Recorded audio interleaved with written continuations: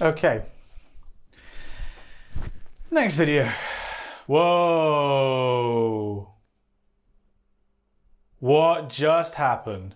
So I did a video a little while ago talking about my research journey from school to PhD, and a topic which I briefly touched on in that video, which apparently a lot of people want to know more about, is how I arrived at my area of research. So for those of you who might be new to the channel, my area of research was in atmospheric physics. I wrote my thesis on stratospheric dynamics. And that's kind of interesting because I went to university wanting to do something in fusion research. To explain how I ended up doing atmospheric physics instead, I should give you two pieces of background. Firstly, why I was interested in fusion, and secondly, what being taught physics at uni is like. When I was a kid, I was super interested in science, but specifically biology. I wasn't actually that interested in physics. I couldn't have really told you what physics was when I was a kid, but I knew from a childhood obsessed with dinosaurs and reading books by Gerald Durrell, I was super into the environment. And from a young age, I was aware of the issue of global warming and climate change, and that it was, in a way, the defining issue of our times. And so I was determined to do something specifically in relation to that with my life. Later, when I went to school and science as a subject was split into physics, biology, and chemistry, I realized that all the cool stuff was in physics, and so I knew I wanted to study physics. So I had to think of a way to combine those two things of taking physics, or the stuff that I was learning in class, and applying it in some way to make the environment better. And then, as now, the kind of big hope for the future is nuclear fusion, this clean, unlimited source of energy. And so I decided that that was what I wanted to dedicate myself to. However, when I got to university, I realized that actually the physics of nuclear fusion is pretty much settled. It's not a physics problem anymore, it's an engineering problem of how we practically do it.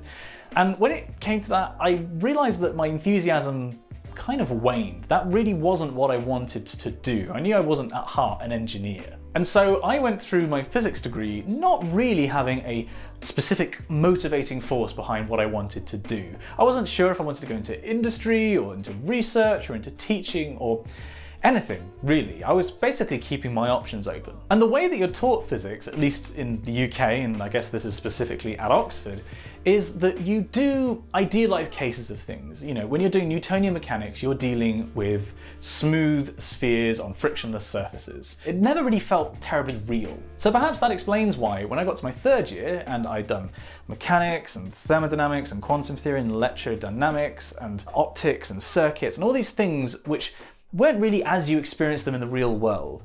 When I came across the third year module, which was fluids, flows, and complexity, I kind of fell in love. Really, the John Green quote about falling in love like you fall asleep slowly, then suddenly all at once was pretty much true for me in, in, the field. Basically, I took this module, and for the first couple of weeks of the course, you're dealing with problems about the Navier-Stokes equations, which is like the master equation of how fluids move generally, and also, you know, considering what is a fluid. And I was sort of plodding along and thinking, this is actually cool. This this feels like something that you, you know you can use in the real world. It's a continuous medium that you can describe in just a couple of equations, not like a perfect sphere, like on a, on a frictionless surface. This was not a point particle, but a medium, a continuous medium. And I was I was thinking, man, this is this is cool. This is you could describe the atmosphere like this. And then when we did, I think there was an extension problem on one of the problem sets, applying these equations to a, um, it was a liquid between two plates that were heated. And it was actually a, a question that they told us not to worry about because it wasn't on the syllabus for that particular year. They changed it around. And I did it anyway because the idea of combining heating the fluid with change and that and causing that heating changing how it moved suddenly solved me. I, I, I just suddenly had this this connection with it. I was like, that is how you describe a real world system. That is how you describe the ocean or the atmosphere. And I think pretty much from that problem sheet onwards, I just knew that that was what I wanted to do. I'd sort of refound my focus. Because it connected back to climate. It connected me back to the real world and sort of allowed those two things which I was really interested in, in physics and analytically describing things, and the real world and the biosphere, and combining them together into one subject, which I didn't even know existed at the start of my degree. So that determined the area of physics that I was interested in. But then more than that, I ended up doing stratospheric dynamics, and that is something of a different story. I think I speak for most physics PhDs, at least in the UK, when I say that PhDs are typically picked by the student. It's quite unusual from the people that I know to actually go to university with a research proposal saying this is exactly what I want to do. Because by the end of your degree, you only have a cursory experience of the different bits of physics, and even in the area that you're really interested in, having done it at master's level, you don't have a huge depth of experience to draw on. So typically students will actually pick from PhD proposals that supervisors put forward and they say, these are the projects we're offering this year. And so when I applied to Oxford and Reading, um, I had a look at the projects that were available and I decided on ones which sounded interesting, like a, a, short list.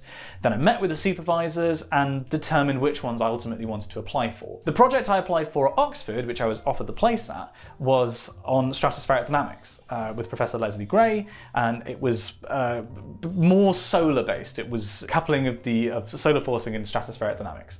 And um, I basically picked that because it had ramifications for climate change. It had very real you know, if, if I did research well, it could have very real impacts. But I also chose it because Lesley, as a supervisor, had a fantastic track record. All of her students said she was lovely and that she knew what she was doing.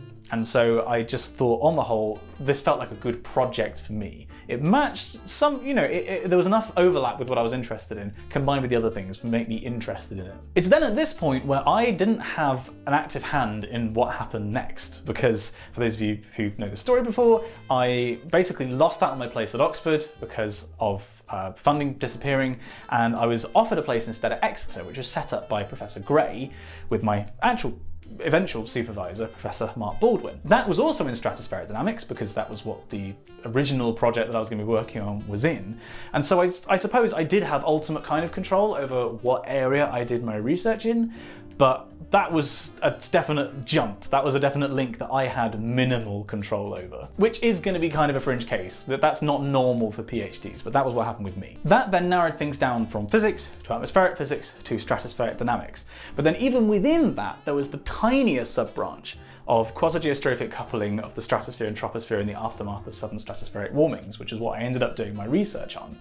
And how I arrived at that was probably about 50% informed by what my supervisor's expertise was in. He kind of discovered the phenomena that I ended up researching, but about 50% based on kind of going back to why I did a physics degree in the first place, which was playing around with equations and playing around with pencil and paper and describing physical systems analytically.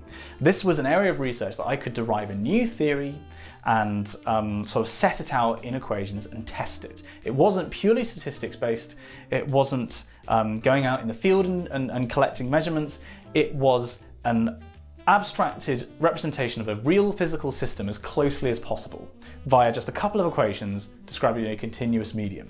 So it was going back to the roots of why I got interested in physics in the first place, which is kind of nice really. You know, you had the initial driver for why I got into the field, narrowed down by sort of various circumstances and problems that I did, and then that last bit of specialization was determined by the very first thing that got me into the field in the first place. Basically, I just followed my gut. This is the advice that I always give to people when they ask me about, you know, choosing a specialism within physics, is to follow your gut, just to trust your gut instinct. Of course, you have to be exposed to different areas of physics to be able to do that, so don't feel like you have to choose an area early on. I didn't decide on what I wanted to do in my PhD really until like the end of third year. There was between third year and fourth year, I did a research project over the summer and I decided I definitely want to do a PhD and I want to do it in this area. So that was super late on in my degree. And I was only able to make that decision because I have been exposed to pretty much every branch of physics. The Oxford Physics course is very broad. So I had that knowledge to be able to make that call. So I'd say to people, if you're watching this and you're worried about picking a sub field, Take your time, be exposed to different bits of physics, and see what grabs your attention. And hopefully, you will just find a field like I did and just fall in love with it. And when you know, you know. So get exposed to a lot of subfields before making your decision and ultimately trust your gut. You know better than anybody else what you're interested in and your interest in what you're going to do in your research is the single most important thing that will get you through your research and allow you to survive. That was how I made my decision, and that's my personal advice to anyone who's watching this. But if you are watching this and you are a researcher or you know you're currently doing your PhD, how did you end up at your subfield? Because I imagine everybody has a slightly different story. I hope with commonalities, basically meaning following your gut. But I'd like to hear your story as well. Leave that down in the comments. This was a very rambly video. It's the first one in a long time that I haven't actually scripted, so I hope I was able to salvage something of this in the edit. I hope that you enjoyed it. If you did, do pop it a like. Leave your research story down there in the comments. And thank you again for watching. I'll see you next time.